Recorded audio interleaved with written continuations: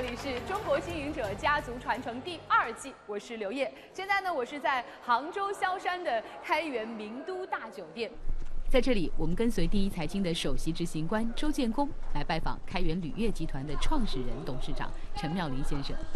他们将会进行一场关于企业传承和治理的对话。这次呢，我们的拍摄从早上六点钟就开始了，为的就是和陈妙林先生的一场约定，而这个约定和他的爱好有关。你好，你好，你好，好久没见，好久没见，好久没见。创业二十八载，他从一个县级招待所起家，打造出中国最大的民营高星级酒店集团，被同行称为“中国民营酒店第一人”。如今，他的企业旗下拥有两百多家酒店，五万多间客房，跻身全球酒店集团三百强的第二十五位。他是企业界的运动达人，跑步、游泳、骑行、马拉松、铁人三项，样样精通。他说，运动思维和企业经营之道一脉相通。他要用这种理念引领企业走上百年老店之路。他就是开元铝业集团创始人、董事长陈妙玲。平时锻炼是几点钟？平时也就六点起床，一天游泳，一天跑步。一般早上跑多多少公里？呃，爬十公里，那么游泳嘛，两千到三千。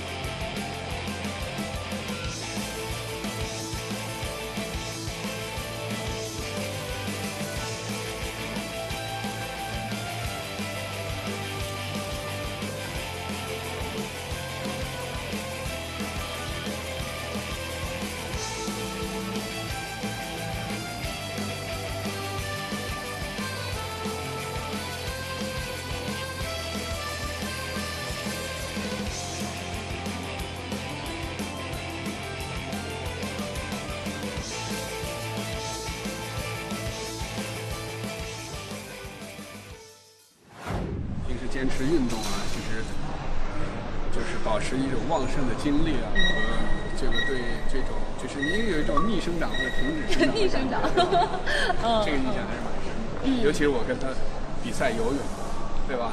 我速度可以在某些泳姿上可以超过他，但是耐力是他比我强。每天早起运动一个小时，是陈妙玲坚持了二十多年的习惯。他对运动的热忱影响了开源的团队和员工。马拉松、铁人三项、骑行，国内外大大小小的比赛和活动，时常能看到他们的身影。他还在媒体开设了专栏，叫做《陈妙玲的骑行日记》，分享骑行中的所见所闻所感。现在运动在中国的企业界是非常时尚和流行的。您的这种运动和您这种经营企业的这种理念和管理之间有些什么相通的地方吗？人的年纪一点点要变老啊，青春是肯定留不住啊，呃，但是身体你可以让它变得强壮一点。同时呢，我也觉得人要需要去受点苦了。嗯人到了一定的程度，比较安逸的情况下，生活时间久了，嗯他的思想会会退化，嗯呃，他的人会懒惰。极限运动能锻炼人的意志，这个是非常重要。所以每一次骑行的这个都是一次挑战，也是一次心灵的这个一次深化啊。嗯我们做企业的的时候，会做到有的时候会到到山穷水尽的时候，真的是不想做，想退出算了。呃，骑车的时候也是这样，骑到非常累的时候，他也想，我就我我就放弃算了，我打打高尔夫球多好，是吧？为什么要这这样艰苦的地方还在还在骑行？总有一种心理上有一种这种信念在那里，期望在那里。所以每一次骑的时候是很艰苦的，但是你到晚上躺下来的时候，或者当你写日记的时候，你心情有一种有一种愉悦感，啊，一种成就感，这种成就感不亚于你一年开几家酒店。嗯，我曾经在高原上，我也想退出。那我第一个想到的时候，我我那时候我们还只有两万多个员工，我说两万多这个员工在看着我，那我怎么能不起？我没有理由退下来。那其实做企业也是这样，我的朋友在看着我，我的家人在看着我，我整个社会在看着我，政府也在看着我，我怎么能不做？啊，啊，这么多的奖牌啊！运动的奖牌可能我放在这里。今年的铁人三项我得了个第一名。哦，这个是新庄县的这个骑行啊，骑行的这个勇士奖。这个单车有什么特殊的含义吗？这个在环法的时候就骑这个车。啊，环法是骑这个，骑车还还挺有挺刺激的。对，就说你什么时候去玩玩？你不光是游泳，你要 骑车。骑车。骑车它腰部的力量。是的，锻炼腰部的力量。嗯，对，非常好。创业二十八载，地产加酒店模式面临哪些挑战？我认为中国经济的可能最大风险还是在房地产。市场变换，高星级酒店的大船如何快速掉头？从二零一三年以后，基本上对商务型的五星酒店不进行投资。第一财经首席执行官周建功对话开元旅业集团创始人陈妙林。我在董事会上还有个承诺，百分之三十四的股权是最大的单一股东，你不担心吗？为什么一定要留百分之五十？我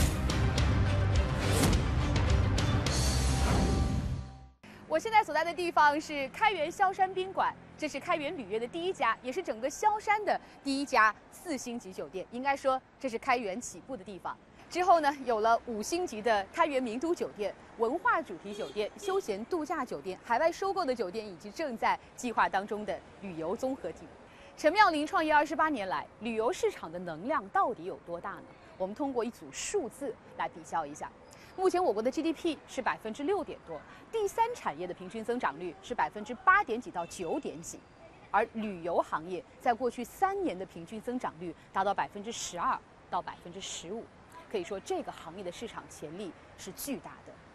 当然，虽然说潜力巨大，但这生意到底好不好做呢？身在其中的陈妙玲自然是冷暖自知。这个酒店是。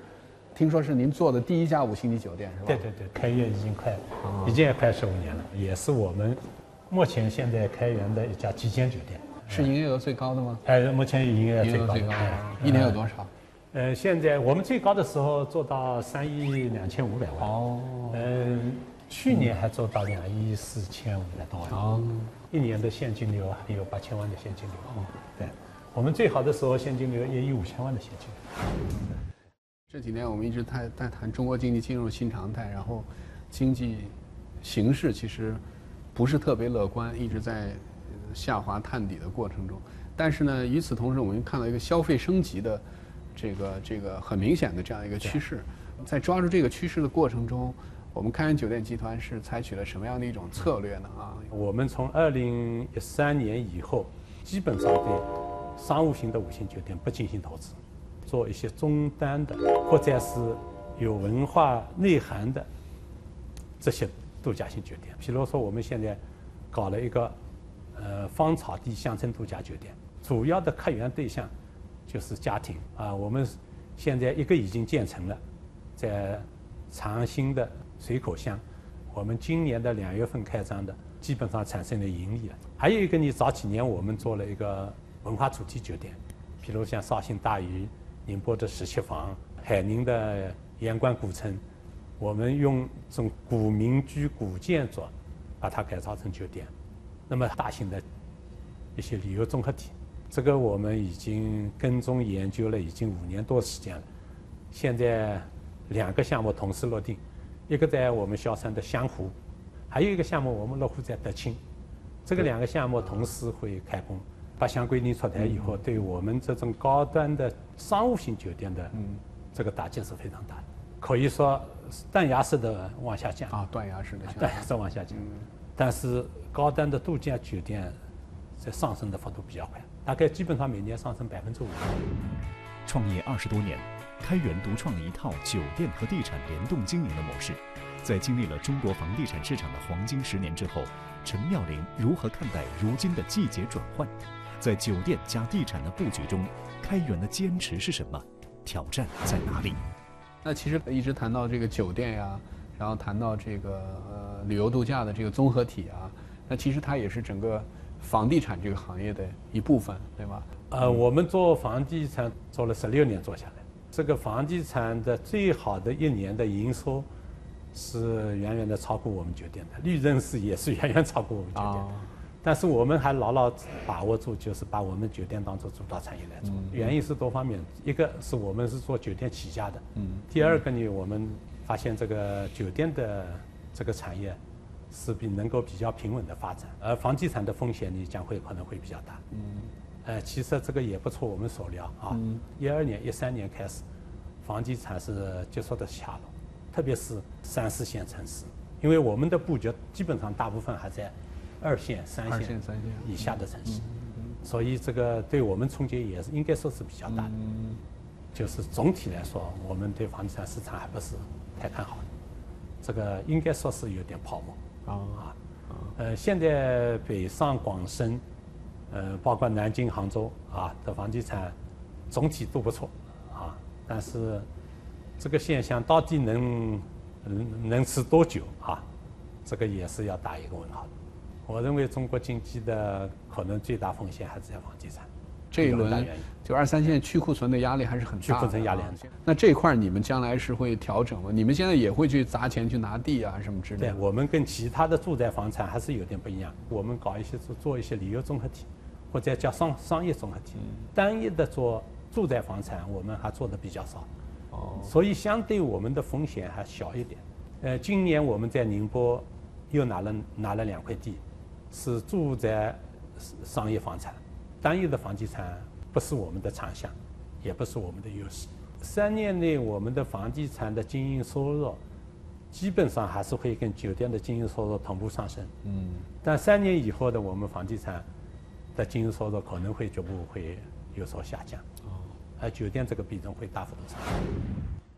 呃，我觉得一个企业在面对变化的时候，你的应对一定要快啊。就是你比如他说在一二年和一三年酒店遇到这样这么大的一个变化，他马上转向这个家庭的休闲度假旅游这块，面向中产阶层的这样一个转型呢，其实上他的动作是很快的。因为企业呢，就是调整它的发展方案，不是一蹴而就的，甚至一个比较痛苦的一个转型过程，那就需要两个最重要的素质。我觉得一个是耐心，一个很坚强的意志。嗯我觉得这一点他是还是具备的。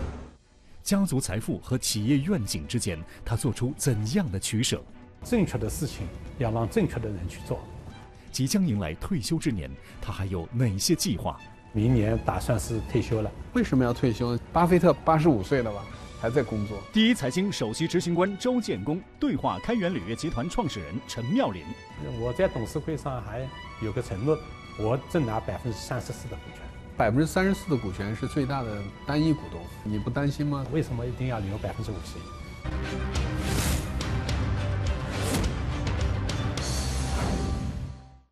陈妙玲不止一次高调的宣布，她要在六十岁之前把总裁的位子让出去，在六十五岁之前把董事长的位子让出去。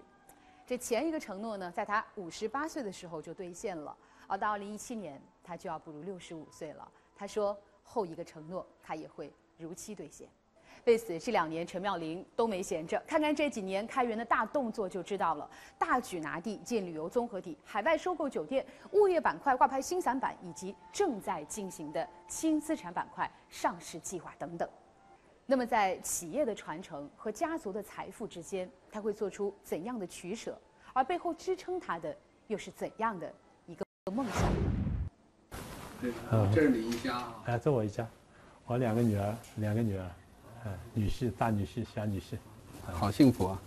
其实他们双胞胎两个，就各双胞胎啊。哎，双胞胎姐妹，嗯，这个大女儿呢，她自己还想干点事。干点事呢，我也不是说一定心疼她，我觉得这个这女孩子干企业，嗯，太困难。嗯。啊，而且你的企业这么大的一个摊子。啊，一下子接也接不上来。对，啊，还有呢，我还是传统观念，女人了，这个有事业就很难有家庭，有家庭就很难顾事业，所以劝她啊，那现在她没有这个想法。好，好啊。就作为父亲呢，最希望的是女儿幸福，吧？对对对，这是最这样的，对。做开源集团的，你未来的愿景是什么？我的愿景呢，还是想把它做成一个百年老店。我们期望的就是能够把它世世代代能够做下去。企业这个品牌是不能倒。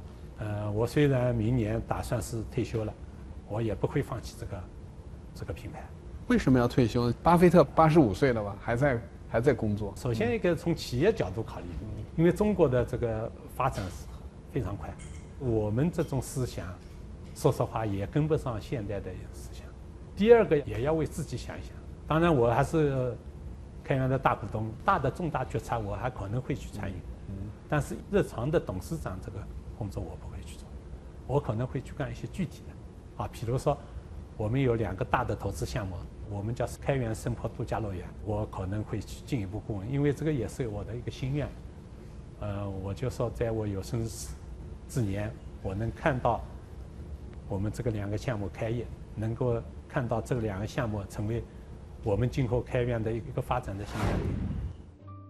二零一四年，陈妙玲在接受《中国经营者》栏目采访的时候称，她坚持六十五岁退休。像我们这种民营企业退休，呃，你说企业完全不管，那可能也可能也不可能。就是管到什么程度？像我们这样企业的创始人，因为创始人对一个企业的影响很大。嗯。即使是你没有职务。创始人的影响，今后我相信肯定还会有。建立一个现代企业制度，这是很重要。所以我现在还有三年时间，我重点的就在做这件事情。如今，他的退休计划更加清晰地展现在了眼前。在他看来，这份豁达得益于自己在创业早期就建立的股权机制。我觉得我其他的做的不一定好，有一点事情我比较自信的，我认为可能比其他民营企业做的稍微好一点。我的股份结构啊，我们现在七个七个董事，呃，我现在的股份我占了百分之大概五十五十六吧，我具体没有算哦，因为每年都在变化，我每年会送一些股份出去。香港的上市公司，二零一三年上市以前，我们就把股权结构设计好的，我们跟凯雷各拿出百分之五，对高管实行股权的奖励。我们物业公司的。这个上市的股权也是参照这个办法来实行股权激励，这个也就是我们民营企业的优势，国有企业就很难做。实际上的效果还是可以的，是吧？但这个管理的这个团队的这种稳定性啊、忠诚度啊，对对对，高层的人你基本上就不会就不会流失。对，我在董事会上还有个承诺，就是当我退休啊，或者当我不干的时候。我正拿百分之三十四的股权，余多的股权还是由将来的董事会来讨论决定奖励。那就是百分之三十四的股权是最大的单一股东，是吧？对，三十四你你不担心吗？三分之一。嗯，这个问题十多年以前股权设置的时候，律师也提醒过我，他希望你要绝对的控股权，留百分之五十一。嗯，我是当时是怎么考虑的？为什么一定要留百分之五十一？嗯。人年纪大了以后，他的观念也慢慢会落伍的，而且思想也会糊涂的。我们中国很多问题，从历史上来讲，有很多问题就出在糊涂上。人到一糊涂了以后，重大决策一失误，对公司会导导致很大的祸害。正确的事情啊，要让正确的人去做，那可能会长治久安，或者是成为百年老店。嗯，那就是说你的家人，比如说你的两个女儿，她不单独持股，她是含在你这百分之三十四里面，对吧？对，对，对。我的家人目前在我这里没有股份。他们会参与公司的管理和经营呃，目前不会。以后等我老了以后，那这个就可能这个百分之三十我委托他们来。啊啊，他们也并不会很深的介入公司的管理，不会不会啊啊。但是他们的利益我会跟他们保证的。嗯。呃，因为我香港的上市公司的。这个我这份股份，嗯，呃，我已经做了信托，嗯，做了做了做了一些安排，嗯，所以我的理解其实，呃，一个人如果是在绝对控股的位置呢，他在这公司的地位是为所欲为，对吧？我想做什么都可以实现，但如果他把他的股份呢从绝对的控股降到，呃，能够保证三分之一呢，他实际上是采取的一种坚守的一种态度。你因为你想做一个百年的企业嘛，你一定要坚守开源集团的一个价值观，对吧？它一直会传承下去。那么，您认为开源集团一个最核心的价值观是什么？就是要把开源当做百年老店，而不是你当做你一个赚钱的舞台。你必须要兼顾到各方面的利益，起码就是三方的利益：股东的利益、员工的利益、客人的利益。你必须做到这三点，你才会有自己的利益。你做不到，你三点利益只考虑自己的利益，你这个企业是做不长的企业。啊那这个是我认为，这是我们凯源很重很重要的一部分。其实他的认识还是很清醒的，就控股就意味着你可以在企业里想干什么就干什么，但是他知道自己年纪已经大了，其实未必能跟得上时时代发展的步伐，所以他这点思考是很清醒的。那另外一点呢，就是说他希望这个企业能做成一个百年老店，未必就是说这企业一定要由家族来进一步管理。但是我觉得家族持有这么股份呢，还是要作为一个企业的一种价值观的一个捍卫吧。我觉得它是它是这样的一种考虑。有人说，一个企业创始人的人生观、价值观对企业的影响是巨大的。而对开颜铝业来说，陈妙玲的达观性格和运动精神，无疑给企业带来满满的正能量。在做百年老店的企业传承之路上，他的选择和去骑行、去跑马拉松是一样的。最重要的一步就是出发。感谢您收看本期的《中国经营者家族传承》，我们下期节目再见。